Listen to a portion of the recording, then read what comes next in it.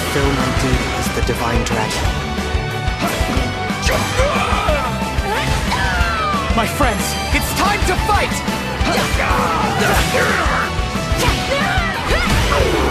Out of the way!